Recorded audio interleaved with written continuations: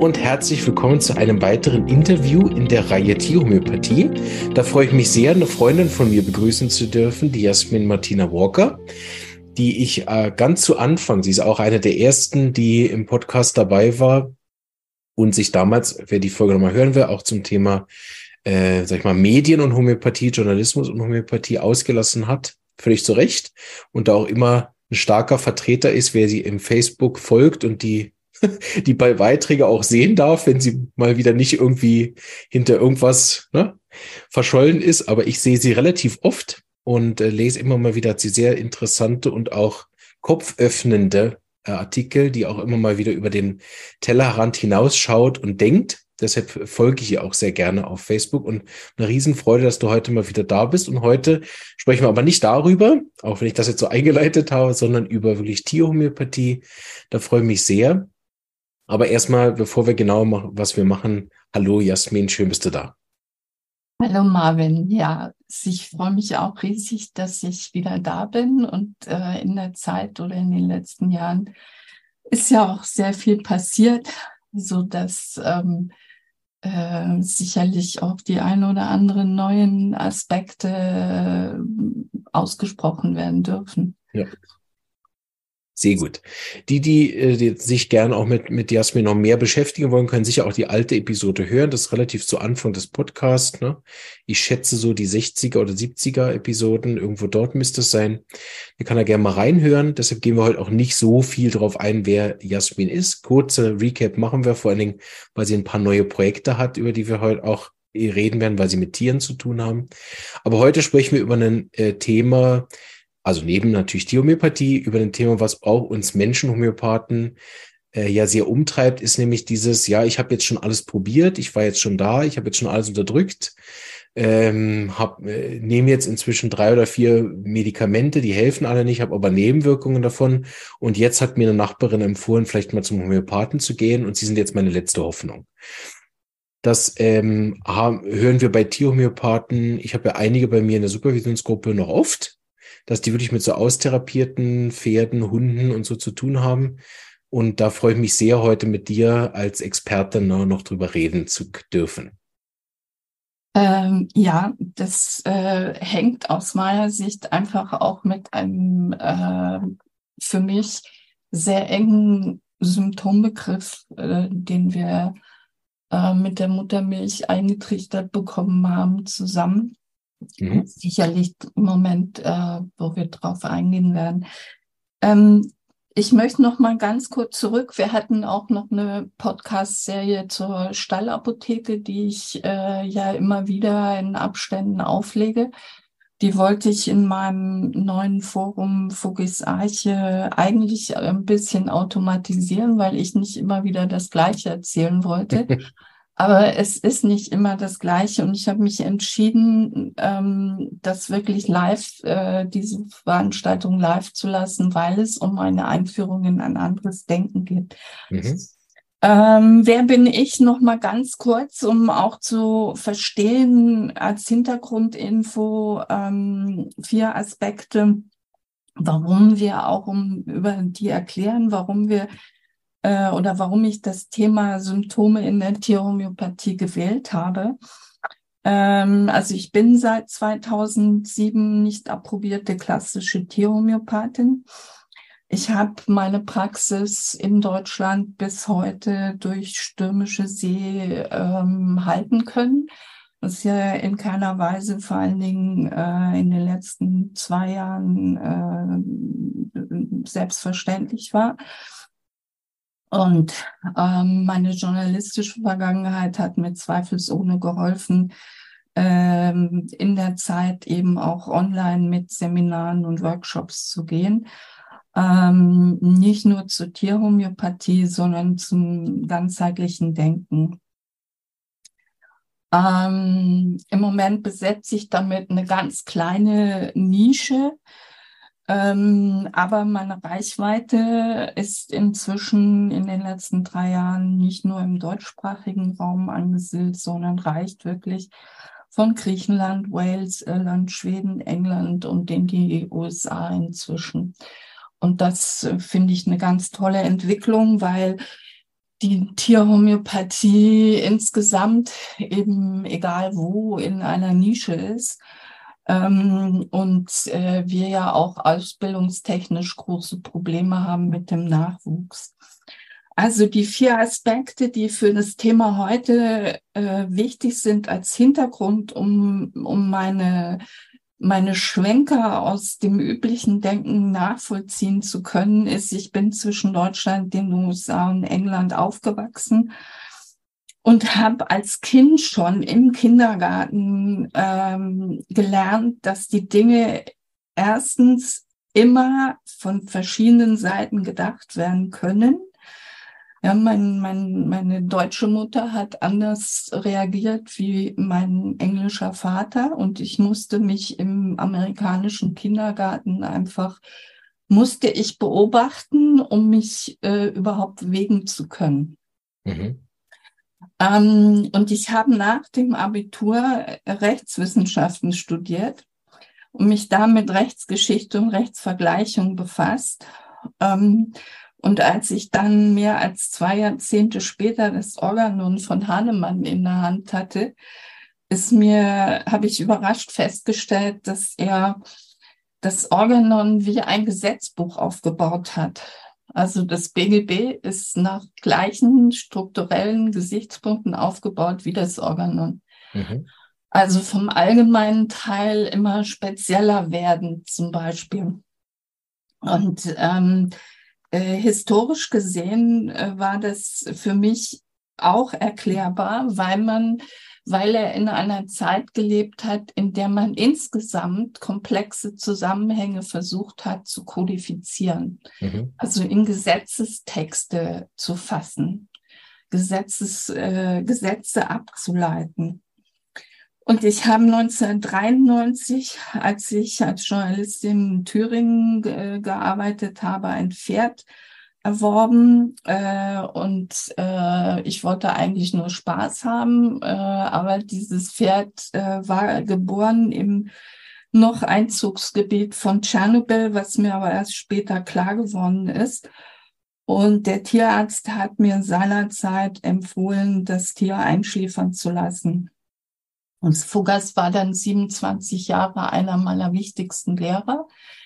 Äh, ich habe äh, eigentlich alles, was ich bis dahin in meinem Leben getan habe, hinter mich gelassen und mich dann eben auch für die fünfjährige Ausbildung zur Tierhomöopathie entschieden. Mhm. Aber nicht, weil ich eine Berufsausbildung zunächst absolvieren wollte, sondern ich war einfach auf der Lösung, für, äh, auf der Suche nach Lösungen für mein Pferd. Mhm. Ähm, das ist ein anderer Ansatz, weil ich bin keinem Lehrer gefolgt in diesem Sinne, ja. Also was man häufig beobachtet, dass es so eine Guru-Bindung gibt. Mhm. Ähm, sondern ähm, ich war einfach von Anbeginn offen für alles, was Vogels mir weitergeholfen hat. Insofern habe ich mir alles, was mir in die Finger gekommen ist, auch an, angeguckt. Ähm, und äh, da ich äh, mit Peter Mohr auch einen Lehrer hatte, der an einer Bindung seiner Schüler gar nicht interessiert war, ähm, was zunächst extrem schwierig in den Anfangsjahren war, äh, weil man überhaupt keine, keinen Rückhalt hatte, ähm, war das für mich ein offener Raum, den ich für mich gefüllt habe. Und das war dann in der Praxis und ich sehe darin auch äh, letztlich äh, das Potenzial, warum es mich noch gibt. Ähm, mhm. Dass ich äh, vor allen Dingen äh, auch durch die Zeit des Berufsverbots und so weiter. Und diese Thematik ist ja noch nicht ausgestanden. Ja, sondern diese Entscheidung vom Bundesverfassungsgericht ist ja lediglich ein Auftrag an den Gesetzgeber. Und wenn wir hier nicht äh, rechtzeitig äh, aktiv werden, äh, dann äh, gibt es andere Möglichkeiten, wie wir verschwinden. Ja. Ähm, äh, und insofern ist es wichtig, da sehr wachsam zu sein. Also, und ich beschäftige mich seit 2007 mit der Beobachtung dass die Tiere oft ihre Menschen spiegeln mhm. und suche seither nach Erklärungen und vor allen Dingen auch Tools, wie ich das in der Anamnese ein, äh, einbringen kann. Ja, sehr interessant. Äh, ja. Ähm, äh, um eben auch den Tierhalter, ich habe da auch ein bisschen einen praktischen Fall äh, nachher mitgebracht, um auch die Tierhalter auf der geistig-emotionalen Ebene in diese Prozesse mit einzubinden, die das Tier durchläuft durch die Behandlung. Mhm. Und ähm, noch drei Aspekte, warum ich über Tierhomöopathie in der Öffentlichkeit spreche, ist, ähm, weil die Tierhalter oft erst dann zu uns kommen, wenn das Tier austherapiert ist und dann sollen drei Zuckerkugeln alles wegmachen, ja. Äh, das heißt, man steht vor einer letztlich unlösbaren Aufgabe, weil die Aufgabe der Tierhomöopathie ist es nicht, die Nebenwirkungen der Allopathie zu beseitigen. Und es wäre einfach wunderbar, weil ähm, äh, wenn die Tierhalter zu einem viel, viel früheren Zeitpunkt sich mit den Möglichkeiten der Tierhomöopathie beschäftigen würden. Einstiegs sind da die akuten äh, äh, Geschichten, die Hausapotheke, die man zu Hause hat, die aber erst Sinn macht, wenn man angefangen hat, sich auch mit mit den Tier, äh, mit den homöopathischen Gesetzmäßigkeiten auseinanderzusetzen. Also nicht nur Globuli zu nehmen, weil man irgendwie das Bauchkrimmen beseitigen will, sondern äh, wirklich zu wissen, warum man was tut. Mhm. Und Tierhomöopathie wird äh, in der öffentlichen Betrachtung, auch wenn man sich die Literatur anschaut, immer äh, genauso wie die Humanhomöopathie auf die physiologisch-pathologische Betrachtung reduziert. Also Krankheit X gleich Globuli Z. Das Argument in der Tierhomöopathie ist, ähm, dass man beim Tier ja nicht mehr wahrnehmen kann als das Lokalsymptom. Und deswegen kann man sich nur an dem Lokalsymptom orientieren. Ich halte das für äh, zu eng.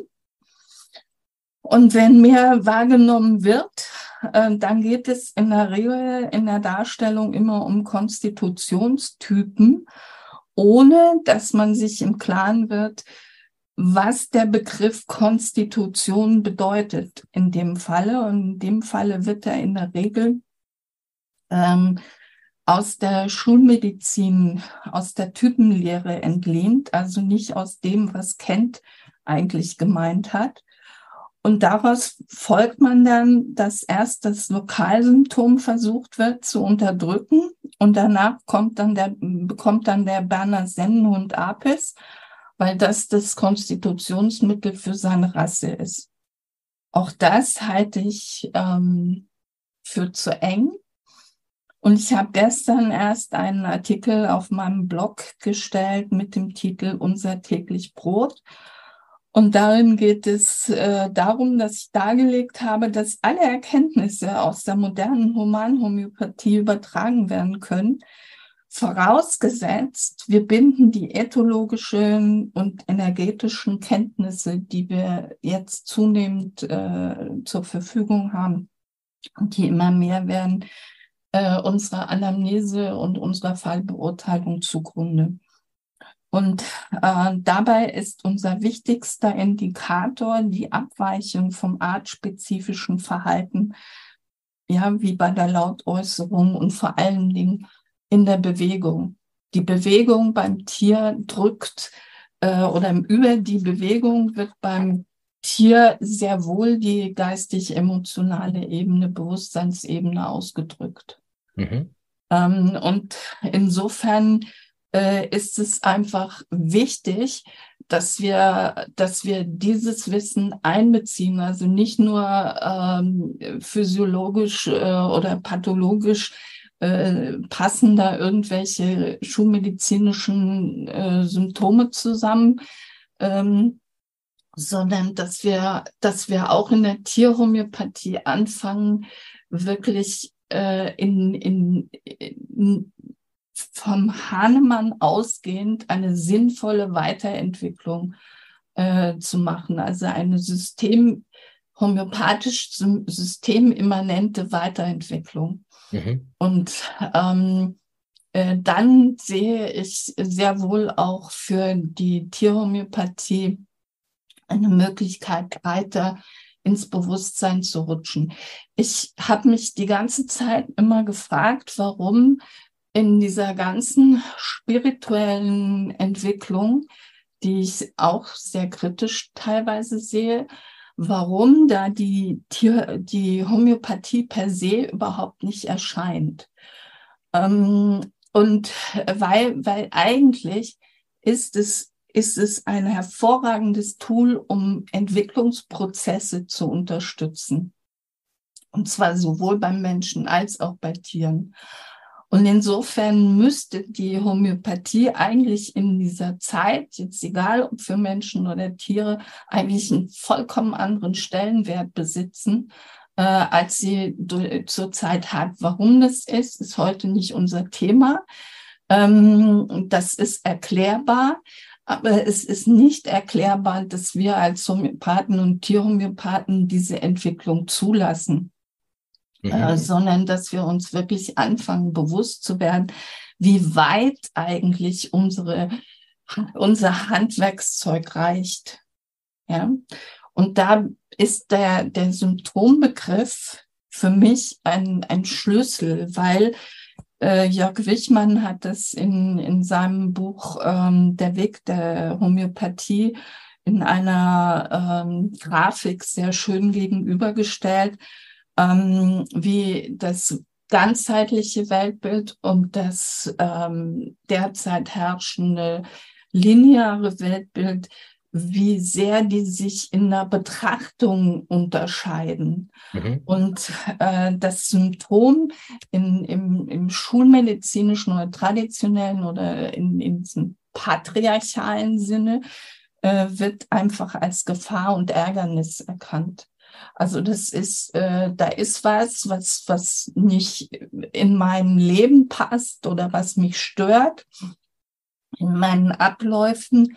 Und deswegen muss ich gegen dieses Symptom jetzt Krieg führen. Mhm. Ich muss es beseitigen, ich muss es unterdrücken. Und wenn es weg ist, ist es egal wohin, dann ist das als Heilung verstanden. Mhm. Ähm, und so sind wir groß geworden und so verhalten sich die Tierhalter auch, ja, dass sie eben erst dann kommen, wenn nichts mehr möglich ist ähm, äh, und dann aber von uns wollen, dass der Tumor in drei Tagen verschwindet. Mhm. Ja, und im, in diesem ganzheitlichen Weltbild ist das Symptom ein nützlicher Wegweiser. Das heißt, der Wegweiser dahin, ähm, äh, äh, äh, was an, an, an dahinterliegenden Themen im Feld sich angeschaut werden darf, um insgesamt tatsächlich in eine tiefer gehende Heilung gehen zu können auf allen Ebenen. Und unsere Tiere, ja, die, das sind auch, also ich, ich stamme aus dieser Schule Animal Muni und Peter Mohr hat in einem seiner Bücher sehr wohl und sehr schön dargelegt, dass auch Tiere äh, ebenso wie Pflanzen, alle organischen Wesen ähm, äh, eine, eine Bewusstseinsebene äh, haben. Äh, und wir glauben immer aufgrund äh, der ähm, physiologischen und ähm, äh, anatomischen Entwicklung, die wir als Menschen äh, vorweisen können, dass wir die höchste Art, also die, die, die, die, die Corona der Schöpfung sind, ja. Mhm. Ähm, äh, äh, das ist nicht der Fall, weil ähm, es gibt Wesen, die einfach wesentlich breiter äh, wahrnehmen und sinnliche Fähigkeiten haben. Also mhm. die Sinne wesentlich ausgeprägter sind, was wir erst wieder lernen dürfen. Also ich möchte aber mal zu einem Zitat von Jörg Wichmann zurückkommen, um bei dem Symptomthema zu bleiben. ähm, Hahnemanns, er schreibt da Hahnemanns Satz, dass es gelte, kranke Menschen oder Tiere, in diesem Fall bei uns, gesund zu machen, klingt auf den ersten Blick fast trivial. Angesichts ja. gerade der Entwicklung der modernen Medizin drängt sich jedoch die Frage auf, was unter einem kranken Menschen oder Tier zu verstehen ist und wann unsere Tiere denn gesund sind. Ähm, und Wichmann kommt dann zum Ergebnis und sagt, eine Medizin, die sich nur um Krankheiten kümmert, kann gar nicht gesund machen, bestenfalls symptomfrei. Ja. Und ich denke, das ist ganz wichtig, dass Tierhalter, äh, egal ob es äh, Landwirte oder äh, egal wer es ist und Tiere hält, ähm, sich hier die, die, diese Zusammenhänge bewusst macht. Und vor allen Dingen beobachte ich in der Praxis, dass Tiere in dieser Zeit wirklich die Aufgabe übernommen haben, ihre Halter aufzuwecken. Mhm. Weil viele Leute kommen erst in die Puschen, wenn ihr Tier krank ist. Mhm. Für sie selbst kommen sie gar nicht so in die Puschen. Aber für ihr Tier sind sie auch bereit, sogar umzudenken. Mhm. Das ist sehr faszinierend. Also es ist nicht nur was, was ich selber auch erlebt habe. Für mein Pferd Fugas habe ich habe ich mein Leben auf, auf äh, umgekrempelt, mhm. Weil es einfach eine Bindung gab, äh, die in meinem Herzen mir gesagt hat, das, was dieses Pferd mir zeigt, ist richtig. Mhm. Und dem, dem muss ich folgen ich hatte gar keine andere Wahl, sondern ich, ich bin dem gefolgt und habe mir einfach eine komplett andere neue Welt erschlossen. Also ja. Wichmann kommt so ganz super auch dann zu äh, äh, fast, fast das, was wir im Mainstream so gelernt haben, in dem Satz zusammen, ich fühle mich dann gesund, wenn ich mich möglichst wenig spüre.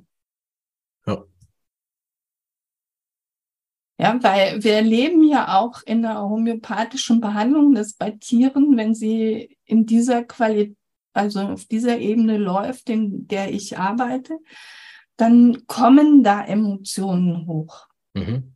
Und zwar nicht nur Emotionen, die das Tier betreffen, sondern äh, ähm, die Mittelgabe am Tier bewirkt im gesamten Feld eine Veränderung. Ja. Und dann reagiert die Großmutter mhm. oder das Pferd, wenn der Hund vorher behandelt worden ist. Ja. Oder das Baby oder der Enkel. Und darüber darf man anfangen, diese Zusammenhänge zu erkennen. Mhm. Dass das nicht nur, äh, nicht nur darum geht, dass der Hautausschlag vom Hund weggeht, sondern dass der Hautausschlag ganz eng mit dem zusammenhängt, was im gesamten Feld passiert. Ähm ja, wenn ich da kurz ergänzen darf, das ist etwas, was mir auch aufgefallen ist, warum ich ja dann äh, den Weg gegangen bin in den Familienaufstellung und in die systemische Therapie, weil ich auf, weil mir aufgefallen ist auch mit den besten Behandlungen, dass ich manchmal gerade mit größeren Familien, wenn die alle bei mir sind, ich mit denen Ping-Pong spiele. Also genau. wir, die kommen mit dem Ältesten, der hat ganz schwere Probleme und viele Krankheiten, dann wird das homöopathisch besser. Plötzlich rastet der Mittlere aus. Ne? Dann ja. behandelt man den Mittleren, jetzt die Kleinste da und man denkt, hä, die war doch alle gesund. Ne? dann äh, hat man alle drei einigermaßen stabil, jetzt kracht die Beziehung. So. Und natürlich mit der Zeit kommt dann auch ans Licht, was überhaupt die Probleme waren. Das ist mal Punkt A. Ne? Aber das von Anfang an nachher in einem systemischen Zusammenhang zu sehen, und das ist natürlich auch nicht die einzige Variante, sowas zu sehen, ganz klar, ne? aber gibt einem relativ schnell auch das Gefühl oder, oder die Klarheit, dass es, ähm, dass es eben mehr gibt als einfach nur dieses Symptom oder dass das Symptom jetzt nicht mit, mit, mit dem gesamten System zusammenhängt, sondern dass das wie miteinander verflochten ist. Nicht nur innerhalb des Systems Mensch, was Hahnemann ja schon dargelegt hat, dass ein Symptom am Fuß sehr wohl mit dem Gemütszustand, den Träumen und auch dem anderen Symptom am Ohr sehr wohl zusammenhängt und eine dieselbe Krankheit ist, sondern dieses Symptom hat nachher noch einen größeren Kontext darüber in der gesamten Familie. Also kann ich genauso bestätigen. Genau darum geht es, diesen Symptomkomplex, äh, diesen Symptombegriff äh, eben aus der reinen physiologisch-pathologischen Betrachtung zu erweitern. Äh, das, das ist, denke ich, äh, ein ganz wichtiger Schritt. Ähm, und ich, ähm, wie gesagt, ich, ich habe das Organon eben ganz schnell als ein ein, ein wirklich systematisch aufgebauten Gesetzestext begriffen. Und wenn wir auf den Begriff Krankheit gehen, ähm, ist es hochinteressant, dass, ähm, äh, dass Hahnemann äh, nicht schreibt Morbus similibus correntur. Ja, also die Krankheit wird durch ähnliches geheilt, sondern er schreibt similia similibus correntor, also ähnliches wird mit ähnlichem geheilt. Also er geht von, er geht schon vor 250 Jahren von einem wesentlich weiteren Symptombegriff aus, den, was ich, was ich dadurch für mich verstehe, weil er ja äh, über einen ganzheitlichen Ansatz äh, in, äh, äh, äh, reingegangen ist. Genau. Das mag er so noch nicht in Abgrenzung zur Schulmedizin ähm, für sich definiert hat, aber sein Widerstand gegen das andere ist ja, sehr deutlich, ja. Ist ja sehr deutlich, ja. Und, äh, und ihm, ihm haben einfach noch die Tools gefehlt, die wir heute mit, mit der Quantenphysik oder mit der Weiterentwicklung auch äh, im, im geistig-emotionalen Bewusstseinsbereich zur Verfügung steht. Aber im Prinzip hat er uns die Grundlagen dafür schon geliefert. Mhm. Ähm, ja, und wenn man vor allen Dingen auch, wenn man sich die Paragraphen 12 fortfolgende aus äh, anschaut, ja, in dem er auf die Dynamik, dynamische Ebene verweist, der auf dann ganz klar auf die energetische, formgebende, äh, formgebende Ebene. Und das gilt für mich nicht nur für Tiere, sondern auch, was wir ja zunehmend wissen, für Pflanzen, Bäume oder für alle organischen Wesen, aber eben in anderen, äh, in einem anderen Kontext den, mhm. den wir einfach äh, lernen dürfen. Also es geht nicht darum, dass wir immer das Böse bekämpfen, ja, den Durchfall wegmachen, ähm, sondern es geht darum zu erkennen, mein Hund ist krank und was fehlt dem? Das finde ich von Jörg Wichmann auch so einen wunderbaren Ansatz. Das heißt, Symptome ganzheitlich verstanden sind Hinweise darauf, was dem Patienten fehlt und was reintegriert werden kann. Und mhm. diese Reintegration findet nicht dadurch statt, dass ich drei Kugeln schlucke, sondern diese Reintegration ist ein ganz aktiver Prozess, den der Patient egal ob er zwei- oder vierbeinig ist, selber leisten darf. Und zwar auf der Erkenntnisebene. Mhm. Und damit wird auch klar, warum viele Menschen oder viele Tierhalter auch diesen Weg scheuen, weil es geht irgendwann ums Eingemachte. Mhm. Und das ist einfach was, was nicht sehr ähm, populär ist. Ja, sondern wir, wir, es gibt Probleme und die werden dann sehen wir ja zurzeit ganz aktuell, die werden dann fröhlich unter den Teppich gekehrt. Und da blubbern sie vor sich hin, wie Solzhenitsyn das in seiner Krebsstation so literarisch schon vor Jahrzehnten verarbeitet hat. Und alle wundern sich, warum plötzlich in der Familie der Hund krank ist. Ja, da gab es auch vor kurzem einen Sketch. Ich weiß nicht, ob jemand die Echse kennt.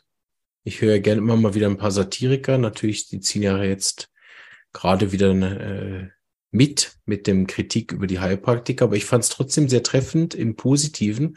Dieses Problem am Heilpraktiker ist, dass ich da hingehe und ihn bezahle und ich dann aber alle Arbeit selber machen muss. und das finde ich auf eine humoristische Art, also sowas von true, ne?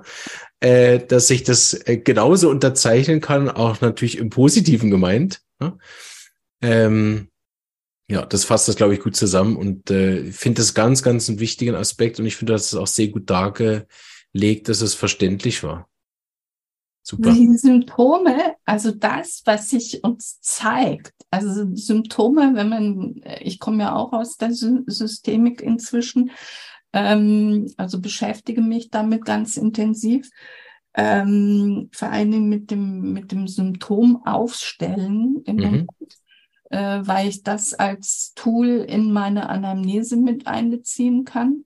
Mhm das ist, das ist ein, also ein, nicht nur ein Warnsignal, was auf was aufmerksam macht, was ich jetzt als Böses zu bekämpfen habe, sondern es ist ein hochwertvoller Wegweiser, ja, um ein, ein Thema, Aspekte, Zusammenhänge eben auf den Ebenen Körper, Geist und Seele und darüber hinaus äh, äh, erkennen zu können, um das zu reintegrieren oder zu integrieren, was uns im System fehlt, um komplett zu werden. Und da ist die Homöopathie ein unglaublich wertvolles Tool, weil es diese, diesen Raum zu halten vermag, äh, dass die Ängste äh, oder die Gefühle wirklich auch bei Tieren hochkommen können. Mhm. Also dass das Trauma wirklich verarbeitet werden kann. Mhm. Darf ich ähm, kurz einhaken und fragen, ja. wie konkret du das machst, dass du das Symptom aufstellst? Einfach persönliches Interesse von mir? Ähm, äh, ich habe da drei Phasen, mhm. ähm, in dem ich äh, mich sehr lange mit dem Anliegen äh, desjenigen befasse. Mhm. Äh, also wirklich immer wieder hinterfrage, äh, ist das dein Anliegen, warum ist das dein Anliegen, was willst du damit erreichen, etc. Dann gehe ich in, eine, äh, in der zweiten Phase in eine Symptombeschreibung. Also ich lasse den ähm, ich lasse den, den, den Tierhalter dieses Symptom ganz klar beschreiben. Mhm. Interessant ist, dass bei solchen Sitzungen die Tiere ganz nahe am Geschehen sind. Also die, die sind, die suchen dann wirklich die Nähe von ihrem Tierhalter. Ähm, dann mache ich ein Genogramm vom Tierhalter, um zu gucken, ob ich das Thema vom Tier im Genogramm des Tier, Tierhalters wiederfinden kann. Mhm. Ähm, und dann äh, gehe ich in eine Symptominnenreise, also das heißt in eine Meditation. Mhm. Ähm, und anschließend äh, analysiere ich das Ganze zusammen mit dem äh, Halter. Und in diesen, das sind drei Schritte. Und mhm. wenn es dann notwendig ist, ähm, und sich die Thematik nicht in der Zeit schon aufgelöst hat, kommt dann im Anschluss noch eine Aufstellung des Symptoms mhm. oder dessen, was sich bis dahin gewandelt hat. Und das wird dann ganz konkret gemacht, wie mit Zetteln, mit Figuren, wie, wie machst du das nachher? Ähm, diese, diese ersten drei Sitzungen laufen auch über Zoom, wenn der äh, Klient das möchte, also wenn er zu weit weg, äh, zu weit weg wohnt. Mhm. Hat sich auch äh, bewährt, weil, weil die weil ich mache das abends und mhm. damit äh, wirkt diese Arbeit einfach auch über Nacht und ja. wirkt schon sehr, sehr viel. Und äh, die Aufstellung selber mache ich nachher mit äh, Bodenankern. Ja. Mhm. Äh, und ich beziehe das, was ich daraus erkannt habe, beziehe ich dann in auch meine Mittelbetrachtung ähm, äh, mit ein. Ähm, sollte es, also sollten in diesem Prozess ähm, ähm, am Tier dann irgendwelche, weil die Tiere arbeiten unglaublich mit die zeigen, äh, zeigen in solchen Prozessen dann, was als nächstes dran ist. Ist, mhm. ähm, oder ich habe auch ganz konkret äh, hier ein, ein, Beispiel. Ich hatte den Fall Kavis Ei 2021 in der Hopathy ähm, veröffentlichen dürfen. Mhm. Uh, und in dem Fall ging es darum, dass Kavi, ein Kater, eine Maine, prächtige Maine-Coon-Katze, sein rechtes Auge droht zu verlieren, weil keine der traditionellen äh, Therapien angeschlagen hat. Mhm. Und der Tierarzt hat spekuliert, dass Ursache eine Hornhautverletzung, also das ganze Auge war matsch, ja, das äh, Tier hat nichts mehr gesehen. Ähm, und das wurde auch immer schlimmer. Und der Tierarzt hat dann spekuliert, dass es sich um eine Hornhautverletzung an einem Dornbusch äh, gehandelt habe. Äh, und er hat dann eine Cortisontherapie begonnen und ähm, damit wurde das Auge noch schlechter. Und dann hat er dazu geraten, das Auge eben aus, rauszuoperieren. Mhm. Und die Halterin war eine Heilpraktikerin. Oder ist eine Heilpraktikerin. Das Tier lebt fröhlich nach wie vor. Mhm. Ähm, mit Auge, nehme ich an. Mit Auge, ja, genau. ähm, das vorwegzunehmen.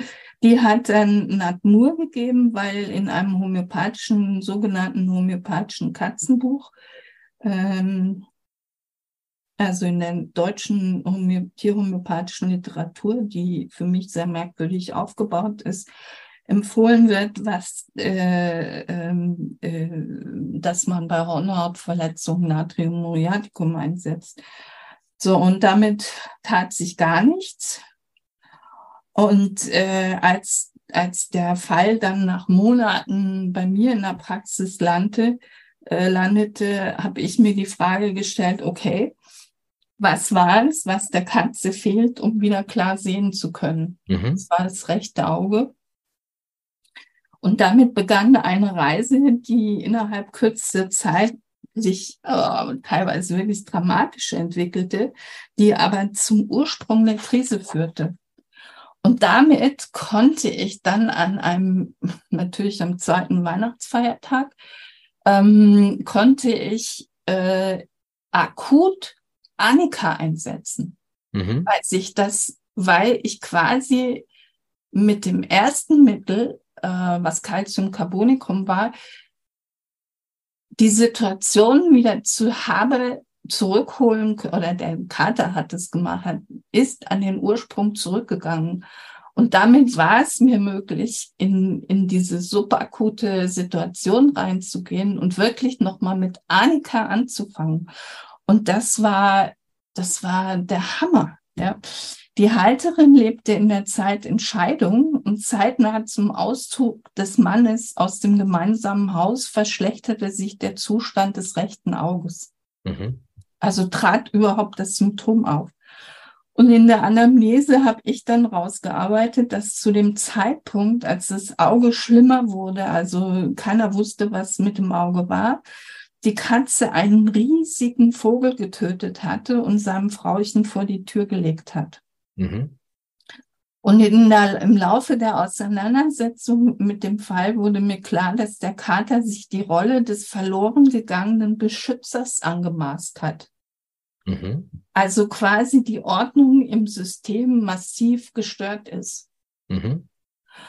Und der Kater hat energetisch quasi die, also für mich die Rolle des beschützenden Ehemanns übernommen, eine Rolle, die ihm aber nicht zustand und die ihm, wie wir das Sehen beim Töten dieser Beute auch völlig also überfordert hat, weil er, mhm. er hat das rechte Auge so verletzt, dass er das quasi nicht mehr ausheilen konnte. Ja. Und ich habe in diesem Fall mit Calciumcarbonicum, da gab es noch andere Aspekte, das führt aber jetzt zu weit.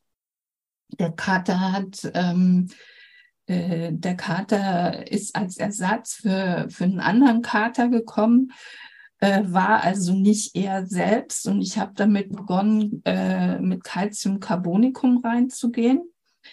Und ich habe parallel dazu mit der Halterin gearbeitet. Mhm.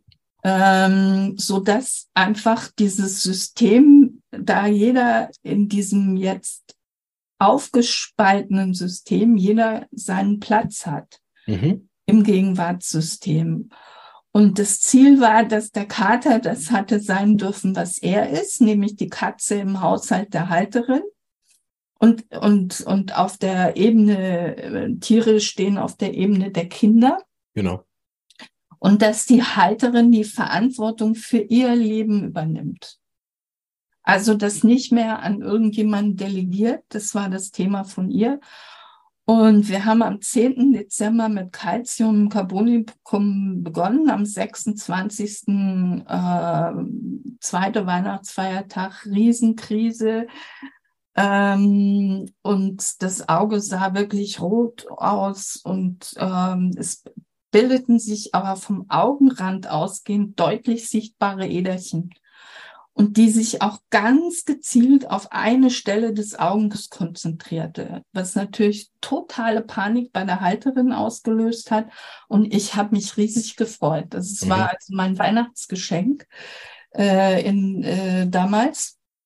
Und parallel dazu ist passiert, dass der Ehemann von der Familie der, der Frau zum Weihnachtsfrühstück eingeladen worden ist, ohne dass sie gefragt worden ist. Mhm.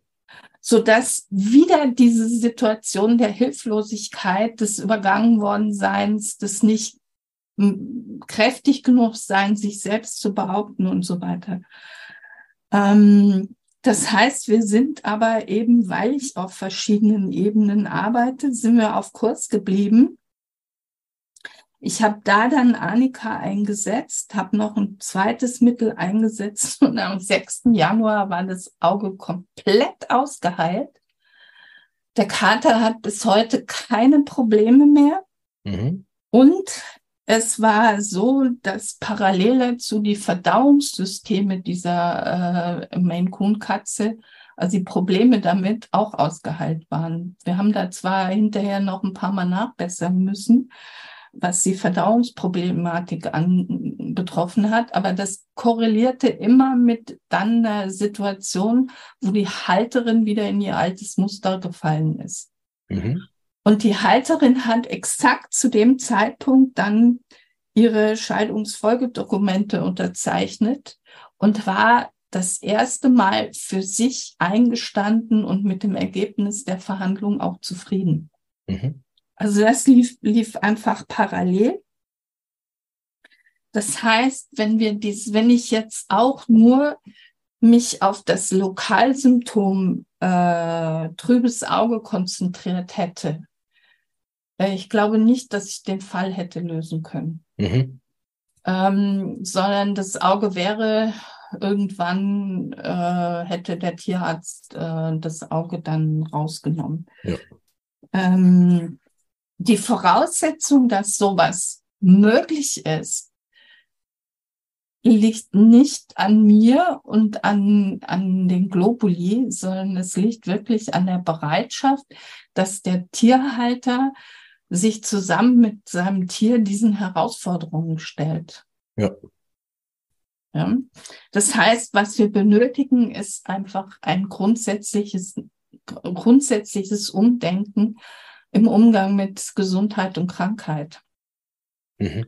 Und da ist es albern, äh, aus meiner Sicht komplett albern, zu sagen, uh, mit Spiritualität haben wir überhaupt nichts zu tun als seriöse Homöopathen, sondern wir gehören dem Bestreben dieses One Health äh, äh, Ansatzes, da gehören wir hin, weil wir sind seriöse Kollegen und sowas.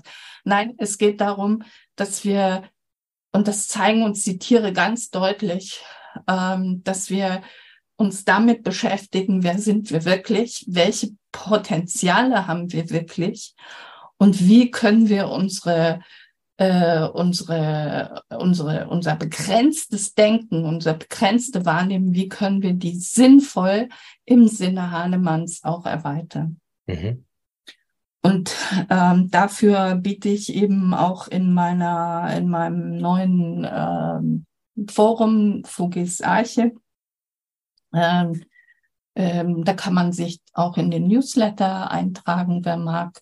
Immer wieder auch Grundlagenkurse an, wie die Stallapotheke, die ich eben als Live-Event auch lassen werde, weil es so wichtig ist, äh, die Teilnehmer in diesem Prozess des Umdenkens, was einfach auf der geistig-emotionalen Ebene passiert, mhm. ähm, äh, zu begleiten und ihnen da auch Hilfestellungen anzubieten mit Erklärungen und so weiter.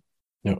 Also wer mag, ist herzlich eingeladen, sich in Vogels Arche einzuklinken. Zwischendrin gibt es auch immer mal wieder Phasen, wo nicht so viel passiert, weil ich irgendwelche ich mich mit der Technik auseinandersetzen muss.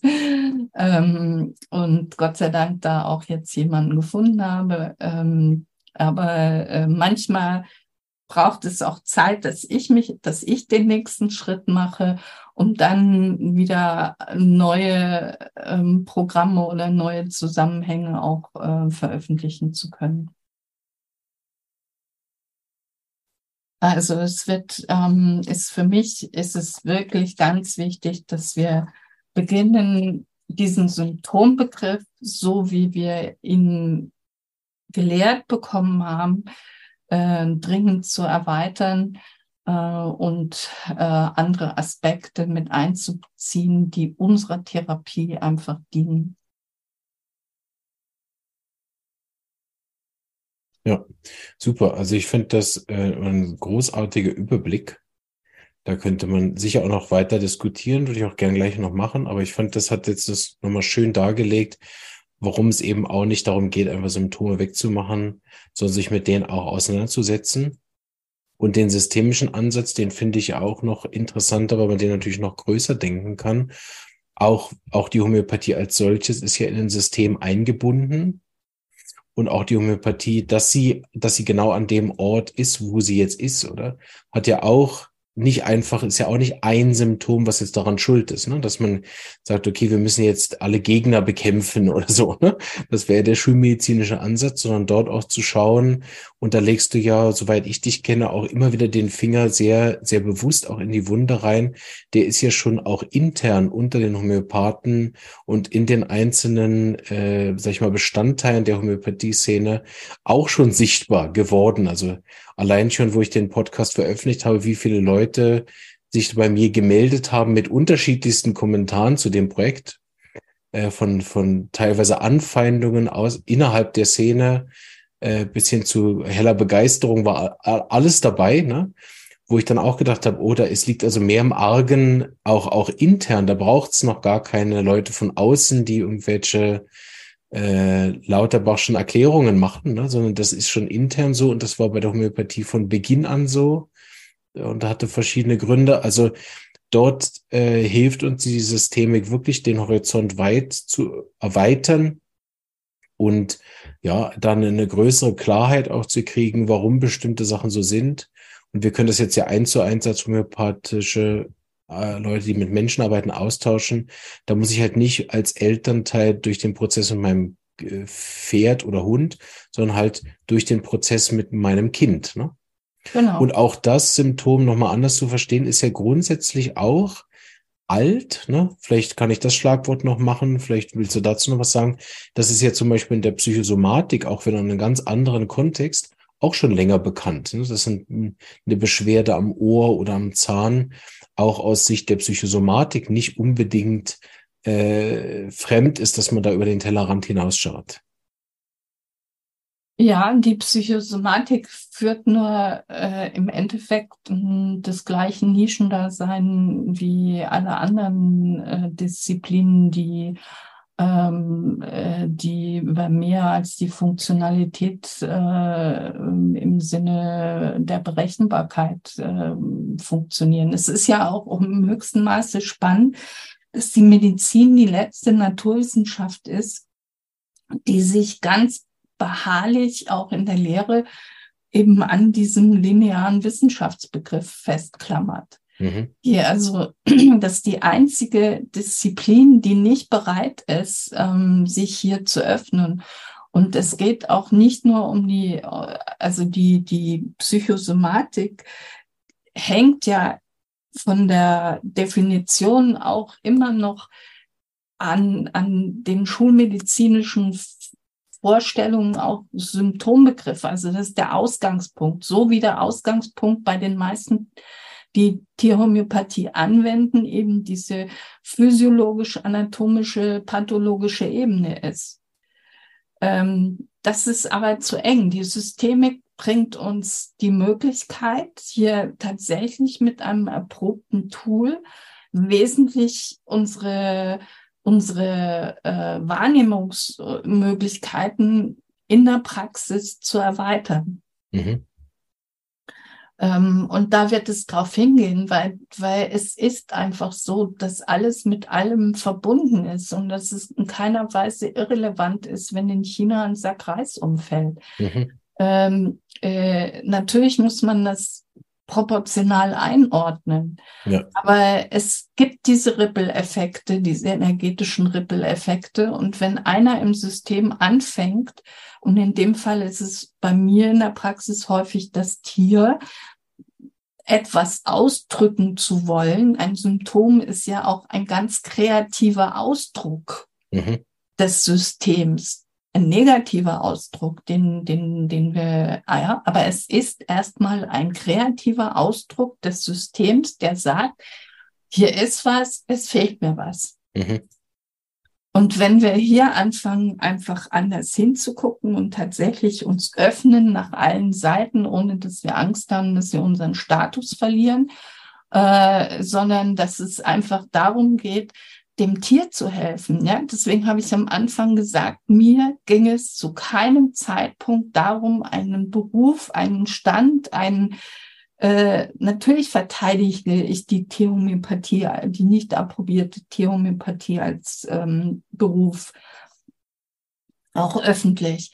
Aber es geht mir darum, eine Lösung für das Tier zu finden oder eine Lösung für das System zu finden. Und ich werde dazu bereit sein, alles zu mir, mir, mir zu krallen, äh, was mir in der Lösung dieser Problematik, die mir gestellt wird, äh, hilfreich ist. Ja. Und da ist es mir völlig wurscht, wie es genannt wird. Ja, genau. Und das dann doch wirklich ganzheitlich. Und das ganzheitlich, ja. Ja, und deswegen nenne ich auch das, was ich mache, immer wieder ganzheitliche klassische Tierhomöopathie. Ja, um, um zu verdeutlichen, dass ich eben weit über diese ähm, physiologisch-pathologische äh, Betrachtung hinausgehe und das ähm, ab da öffnet sich auch ein, also das, das ist so spannend, dass, dass, dass man auch dass man auch dran bleibt, dass man auch immer weiter lernt, ja, dass man immer weiter in die Tiefe geht, immer weiter nachfragt. Ähm, und meine Neugier hat mit 65 mit Sicherheit noch nicht ihr Ende erreicht, ja. Ja, ist der Fluch und Segen der Homöopathie, wenn man mal davon angefixt ist. Ich, ich habe überlegt, äh, was mir jetzt noch so eingefallen ist, wir könnten vielleicht mal kurz auch auf so eine Kritik eingehen, die ich öfter mal wieder höre. Und mir scheint die an der Stelle auch mal wieder zu passen. Nämlich, dass ja all das, was, was, was wir jetzt auch besprochen haben, nicht in den Arzneimittelprüfungen vorkommt. So, das mal als, als Grundaussage, ne? Und dass ja viele der Symptome, die dann verwendet werden, wie du das jetzt an dem, an dem Katzenbeispiel auch schön äh, deutlich gemacht hast, ist ja sage ich mal, das Symptom, äh, ich habe mich so situativ in eine Rolle gebracht, äh, als Folge, auch Auslöser sind ja sehr umstritten, als Folge von diesem Weggang des Partners. Das sind ja keine Symptome, die aus der Arzneimittelprüfung kommen können, also außer man, man öffnet sich dafür bereits bei der Prüfung, aber auch wie Hahnemann ja ursprünglich gearbeitet hat, wenn man seine Materia Medica liest, sind ja, ist ja das, der Schwerpunkt dort auch noch sichtbar, sehr stark auf dem Lokalsymptom. Und ich habe das immer wieder, dass Kollegen eigentlich sämtliche Symptome, auch klinische Erfahrungen anzweifeln, nicht verwenden oder auch dann abgrenzen wollen von der klassischen Homöopathie, die nicht in Arzneimittelprüfungen entstanden sein können, ne, weil der Patient sie nicht prüfen kann. Und der, der, die Erfahrung jetzt von uns beiden zeigt ja deutlich, dass, dass es das nicht nötig ist in der Arzneimittelprüfung, dass man erst wartet, ob nicht noch jemand jemand verlässt und wie dann das Arzneimittel darauf reagiert, auf die Trennung, ne? sondern dass man dann in Anführungsstrichen ja auch dort wieder das Arzneimittel im Kern versteht. Und das ist ja dann eher der Kensche Ansatz, der ja dann gerade von den Leuten, wenn ich das richtig verstanden habe, die sich ja dann sehr stark auf das Symptom äh, aus der Arzneimittelprüfung fokussieren, was ja dann wirklich Homöopathie ist, ähm, dass die das oft auch anzweifeln, eine, eine größere Sicht eigentlich nachher auf das Symptom zu machen, weil das dann die Reinheit, nenne ich es jetzt mal so, ich weiß nicht, welche Worte die verwenden, dieses geprüften Arzneimittels oder das Symptom des äh, Arzneimittels, was geprüft worden ist, wie ja, interpretieren oder im schlimmsten Fall sogar verfälschen. Und das führt ja so weit, dass ich inzwischen also auch Mühe habe, ich führe das kurz nur aus, dass ich mit modernen Arzneimittellehren auch kaum noch was anfangen kann, weil dort die Sachen dann nur noch in einem, in einem Bereich aufgezeichnet sind, den ich schon gar nicht mehr verstehen kann. Äh, ich habe ein Buch hier, wo, wo Arzneimittel so aufgestellt sind oder beschrieben worden sind, dass ich denke, ja, da muss ich erstmal verstehen, was sie überhaupt mit diesen Begriffen meint. Ne? Weil es dann um genauso, sag ich mal, metaphysische Themen geht oder weil es dann um systemische Zusammenhänge geht, wo ich denke, ja, aber die, die kann ich ja beim Patienten nicht mal mehr erfragen, zum Teil. Ne? Wie siehst du das? Äh, du hast ja eigentlich deinen Standpunkt schon gut dargelegt, dass es dir nicht darum geht, jetzt irgendeine äh, Sache zu machen, sondern alles, was dem Tier nützt, hilft, ist richtig. Aber wie siehst du das aus deiner Perspektive, diesen, sag ich mal, scheinbaren Konflikt zwischen Arzneimittelprüfungssymptomen und dem, was du nachher jetzt in der Ausstellung rausfindest? Ich denke, das ist eine hochspannende Sache, das ist ein Thema, was wir durchaus diskutieren sollten, ähm, weil ich auch ein Verfechter davon bin, dass ich sage, ich möchte die Quellen, die Hahnemann vorgegeben hat, sinnvoll ähm, erweitern, das heißt systemimmanent erweitern. Und ähm, insofern ist die Arzneimittelprüfung ein ganz wichtiges Tool, um das Arzneimittel zu begreifen. Aber äh, hier sind wir ja in der Dynamik, dass wir unseren Patienten begreifen wollen. Das heißt, ich, ich bin auf einer ganz anderen Ebene da unterwegs, indem ich mir noch ein Mittel Mittel dazu nehme, ähm, was die verstimmte Lebenskraft besser charakterisiert. Mhm. Und in der Arzneimittelprüfung geht es darum, dass ich das Arzneimittel in seiner, in seiner Spanne äh, begreife. Und wenn man die Arzneimittelprüfung von Jeremy Scher beispielsweise liest, dann ist da immer im Vorspann die geistig-emotionale Ebene mit abgedeckt. Ja, dass man auch hier versucht, die Thematik äh, abzudecken. Ähm, was ich verstehe, ist, wenn wir, das ist so diese Abgrenzung, der, um, um in die Spekulation abzurutschen. Also nicht jeder Fall, wo der Mann aus dem Haus auszieht, ähm, und wird dahin führen, dass die Konsequenz ist, dass der Kater äh, sich in eine spezielle Situation begibt. Ja, sondern das wird in jedem Fall anders sein.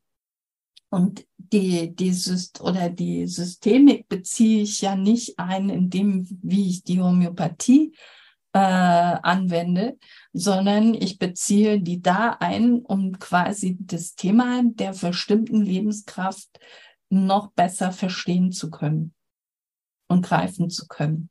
Ja. Also insofern sind das, ist es eine Kritik und ich kann die Kritik auch insofern von den, äh, von den orthodoxen Homöopathen verstehen, weil sie einfach auch Angst haben, dass Spekulationen in den Fall reinkommen. Und da müssen wir schon sehr aufpassen. Ich, ich teile die Kritik oder das, deine Beobachtung äh, da auch, dass äh, gerade was äh, an, an moderner Literatur kommt, für mich ähm, so ein bisschen ähnlich ist wie die moderne Kunst. Ja, da hat man einfach als als die Kunst in die Entwicklung kam, dass man auch abstrakte Kunst, das war in den 50er Jahren in Kassel, zugelassen hat. Da war noch der Anspruch, ich kann eine Form nur durchbrechen, wenn ich sie kenne.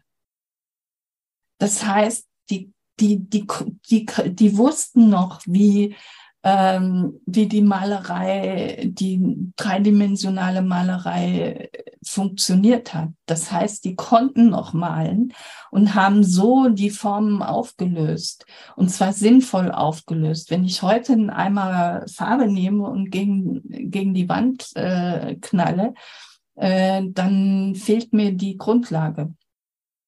Und ähm, Hahnemann hat uns mit auf den Weg gegeben, mach es nach, aber mach es richtig nach, einerseits. Ähm, aber äh, äh, er hat uns ja auch die Neugierde für neue Entwicklungen äh, mit auf den Weg gegeben. Das heißt aber, ich muss für mich, also ich prüfe für mich, passt das in das, was ich mir bis jetzt erarbeitet habe, rein? Ja, mhm. oder ist es, oder ist es was, wo ich mein Ego pflege, weil ich äh, mit einem neuen Arzneimittelprüfung es schaffe, in die Schlagzeilen zu kommen. Ja, die, äh, also es geht, es geht zunehmend dahin, dass wir, dass wir hingucken, dass wir wirklich gucken, ist da Substanz dahinter? Ja. Ähm, kann derjenige was begründen, was ja, ja, es ist ja auch, äh, Hahnemann hat uns gesagt, äh, hat uns aufgefordert, dass wir das, was wir machen, begründen. Und, und zwar systemimmanent begründen. Und es geht darum, äh, schärfer wieder auch die Ebenen zu unterscheiden, auf denen wir uns als Therapeuten dann wie bewegen, ob wir mhm. uns äh, innerhalb, äh, innerhalb jetzt der Anwendung der Homöopathie oder bewege ich mich äh, da, äh, darin, den Patienten und seine Dynamik besser zu erfassen. Ja, und diese, es ist, es, ich, ich hatte vorletzte Woche äh, oder vor ein paar Tagen hatte ich äh, Mutter und Kind da, weil, weil die mir im, in meinem Grundstück einen Zaun aufgebaut haben. Und ich habe, und das Kind ist ähm, geistig ein bisschen zurückgeblieben. Und ich habe äh, ich der Mutter irgendwann gesagt, ich bewundere dich, weil es ist so unglaublich schwer geworden, Kinder in dieser momentanen Situation aufzuziehen und ihnen Werte zu vermitteln. Ähm, äh, das heißt, auch irgendwo einen Rahmen zu vermitteln, diese Ordnung, die, die im systemischen Denken drin ist, zu vermitteln. Ja, weil, weil die Schule oder dieses Kind in der Schule dermaßen gezwiebelt wird, ähm, äh, was es einfach im Moment gar nicht in dieser Form leisten kann und äh, in Schubladen gesteckt wird und dann kommt die Opposition. Ja, das ist doch ganz völlig normal. Mhm.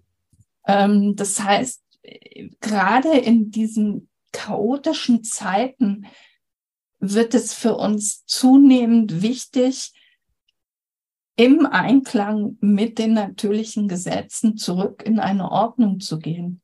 Mhm. Ja, das wird auch, wenn man sich die, die spirituelle Entwicklung auch anschaut, das wird immer wichtiger werden, um einfach auch unterscheiden zu können, was tut mir gut und was tut mir nicht gut. Mhm. Wo wird wel welche Sache auch instrumentalisiert? Wie, wie die spirituelle Entwicklung wird ja im Moment instrumentalisiert. Mhm. Ja, das haben wir in Davos ganz klar gesehen. Ja, wir haben es schon gesehen, da, da habe ich mich so wahnsinnig drüber, damals noch als Journalistin, habe ich gedacht, was machen die denn jetzt bei der UNO, ja, als der Dalai Lama und all die plötzlich in der UNO eingeladen worden sind. Ja, heute weiß ich das, heute erklärt sich das. Ja. ja und äh, wir, wir dürfen einfach bei allem hingucken. Es geht nicht mehr darum, dass wir zum Therapeuten gehen und äh, unsere Problematik ähm, äh, äh, abgeben.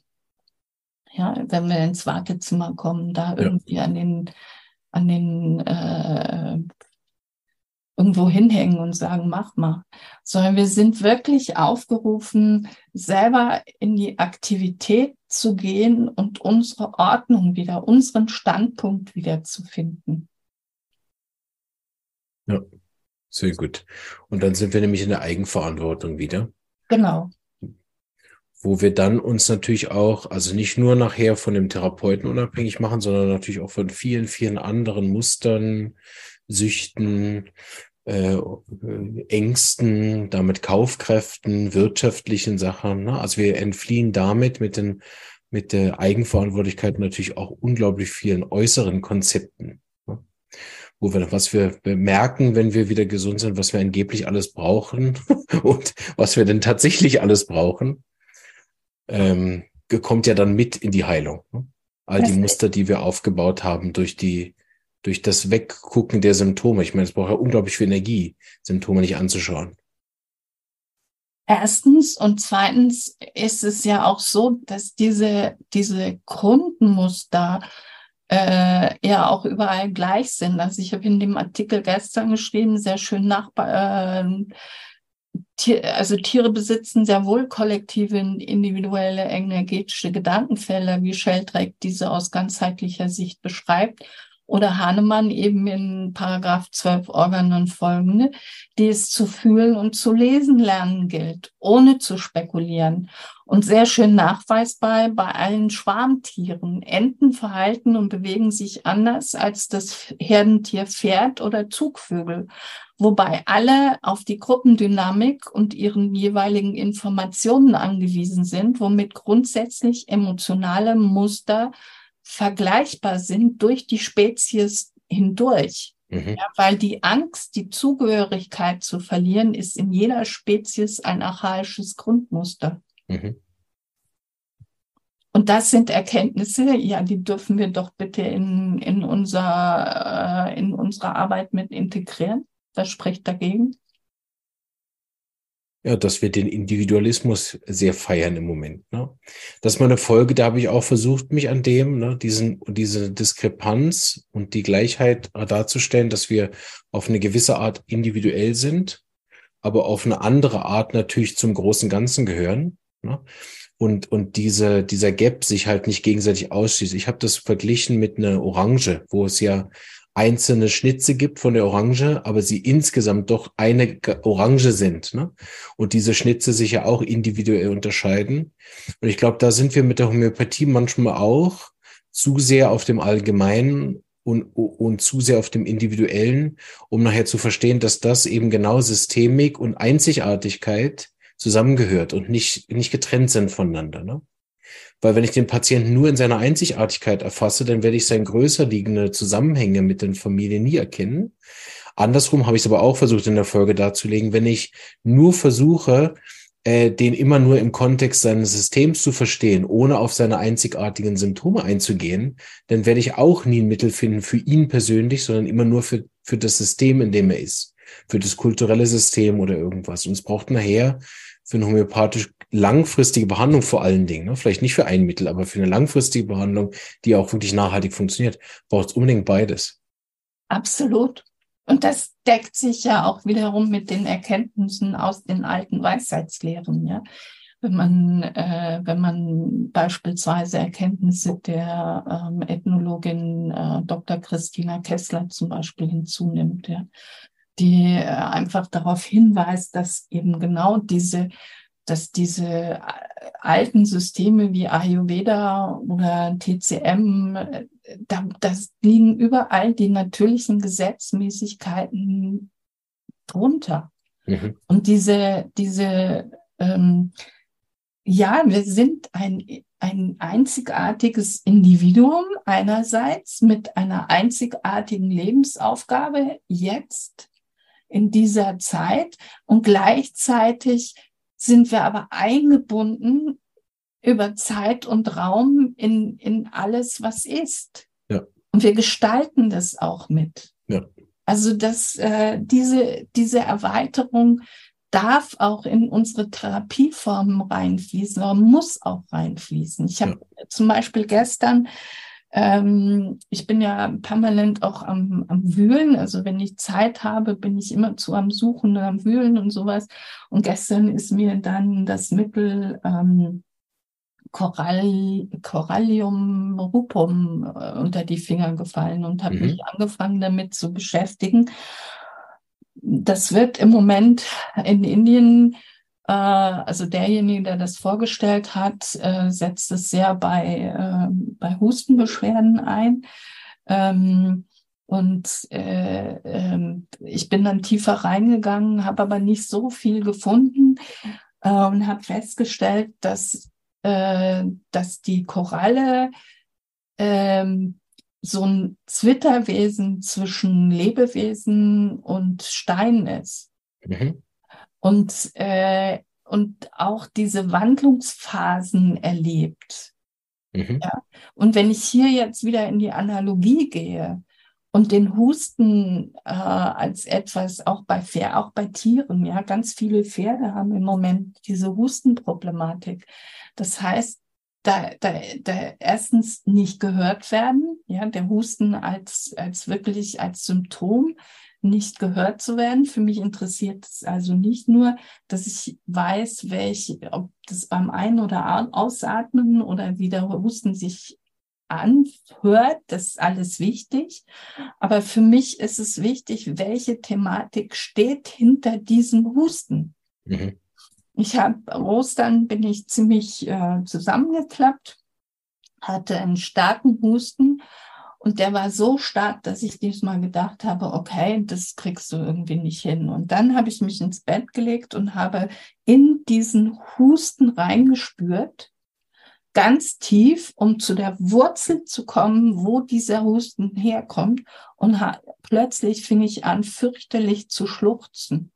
Und ich habe quasi über diese Arbeit eine Situation zurück verfolgen können, wo ich vier Jahre alt war. Mhm. Ja, und seitdem ich das erkannt habe, ist mein Husten weg. Ja. Genau, manchmal braucht es nur die Erkenntnis.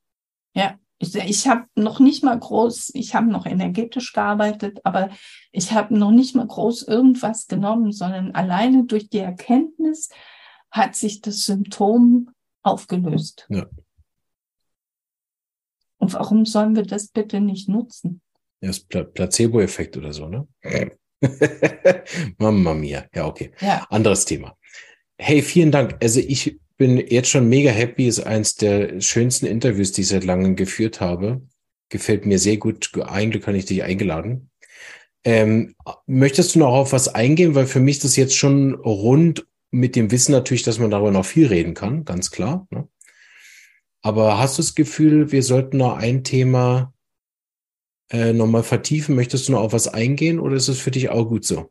Nein, für mich ist es auch rund ja. und ich bin, habe mich gefreut, äh, äh, wieder bei dir zu sein und äh, die Möglichkeit zu haben, äh, das äh, auch zum Ausdruck zu bringen. Ähm, ja. Und ich danke dir von Herzen und ich freue mich jedes Mal, wenn wir aufeinandertreffen, weil, weil sich das gegenseitig einfach äh, immer wieder befruchtet irgendwo.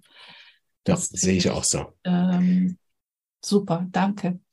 Ja, ich danke dir. Ich glaube, das war eine Folge, die Leute, die es hören werden, werden mir sicher recht geben. Sehr eine wichtige Folge, auch in einem größeren Zusammenhang, ne? Ohne das jetzt überzubewerten, aber eine ganz wichtige Folge, die wirklich gut über den Tellerrand hinausgeschaut hat. Und ich fand, äh, was dir sehr gut gelungen ist heute, ist dann nochmal auch die richtigen Worte zu finden. Also es ist eine ganz große Klarheit in dem, was ich heute gespürt habe. Und ich glaube, das werden viele auch gut verstanden haben, auch Patienten, die da den Podcast viel hören, auch nochmal, denke ich, eine andere Sicht bekommen haben, vielleicht auch auf ihre Themen. Vielen Dank, Jasmin, alles Gute. Ich sage auf jeden Fall bis bald, in welcher Form auch immer. Und alle aktuellen Links, wir wissen noch nicht genau, wann es ausgestrahlt wird, aber Jasmin schickt mir noch alle aktuellen Links zu allen Sachen, die aktuell sind bei ihr. Und die findet ihr dann in den Show Notes drunter. Äh, wenn ihr wissen wollt, wie ihr aktuell am besten mit Jasmin in Kontakt kommt, dann schaut gern in den Show Notes. Alles Gute, Jasmin, und bis bald. Tschüss. Dir auch. Tschüss.